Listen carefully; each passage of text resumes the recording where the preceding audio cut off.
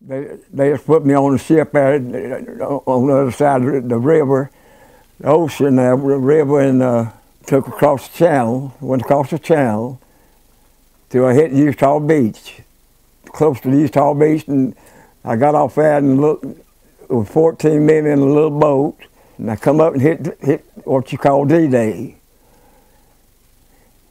And some of the men made it and some didn't. One of my best friends, Billy Moore, got killed coming in, and I made it, and he didn't.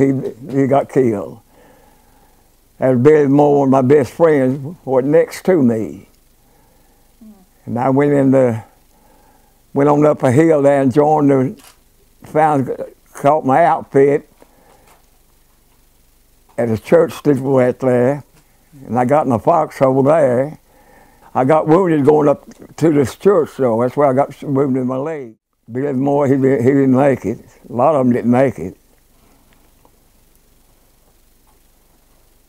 So I dropped, I dropped my rifle in the channel. Had to go up to meet my outfit with, with no rifle. And next thing I got, there was a plane plane came in and they shot the plane down, and I got a rifle off that plane, that pilot, kept it, it, and I was already wounded. I stayed in the hospital five months, and I went back over, over in England, on that little river there, but ships was coming down and some Germans coming in there. And uh, took a beating right there. Then, then I went back over overseas into the battle of the. Wow. And that is D-Day right yonder. See the man laying in there? Mm-hmm. That's D-Day right there. General Omar Bradley is, is a general. Omar Bradley. And that's the D-Day. That's why I went in there the first day. Well, I remember main thing dropping my rifle and me crawling up that hill with no rifle at all. And, and that's when I got wounded. I made it right on the beach, but when I got had to crawl up, that's where I got wounded at. They, they tried their best to keep me in the bed and all, but I, I couldn't do it. I just, had to get up and crawl somewhere or another. I, every time they, they had to put me back in bed. I, I couldn't, I couldn't, I couldn't go to sleep hardly. So, so I just made the best I could, and I, I got in a, a, chair. When the doctors come and examine me, two doctors come up there and was going to take my leg off, and this third doctor come in and said we're not going to do that, so they didn't take my leg off, so that saved my leg, that third doctor. And the only thing I could do is get that wheelchair and get off that bed and go to the bathroom, come back, that's all got back to the barracks, I had we had, we had put on tennis shoes, make that hike, mm-hmm. 30 mile hike.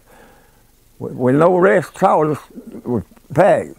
When I got back to the barracks, I, I took the tennis shoes off, and blood was coming in my feet, feet right in.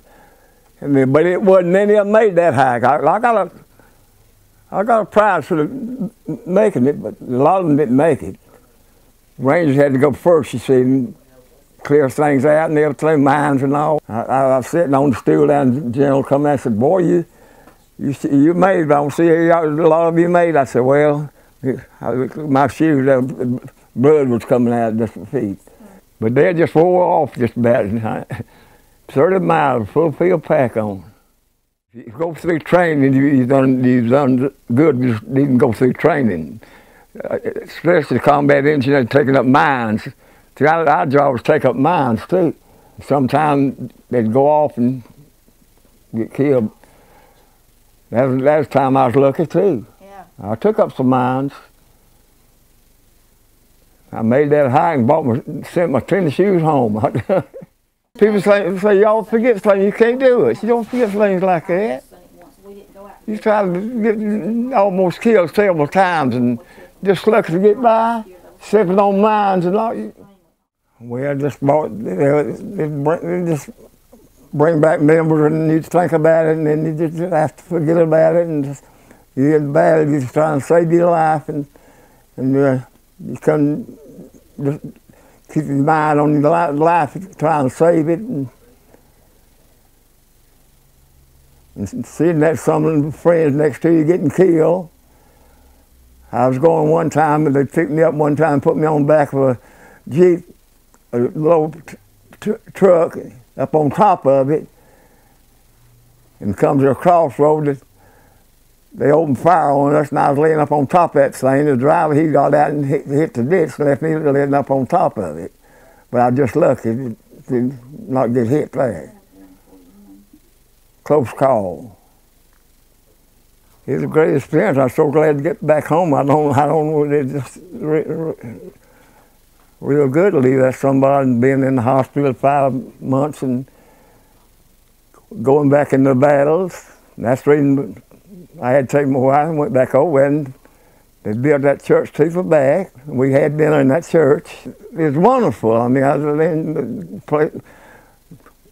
That's where I got wounded at right and then and having dinner and all back in that church where they built steeple back.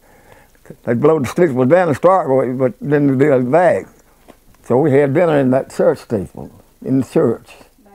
That's for the Fourth Division Ivy Patch. And that's all when I was in the service. That's all they talk about. Yeah, that's Duncan Park. the last several years, we've lived and breathed. That's my wife and being myself. depressed and being wounded and Any kind of tragedy or anything, you know, it's always. That's me on a motorcycle. That's what's like so exciting. Which one's you, Daddy? This right there, I've got my rifle, pointing my rifle, I can all see it right Sit there. right in here. You can see, That's you right there. This is me right here. I think my son said one time This book is, they saw the movie Private this book is full of stuff. They had not yet actually really thought about it that box, that box. God, this won't hardly fit.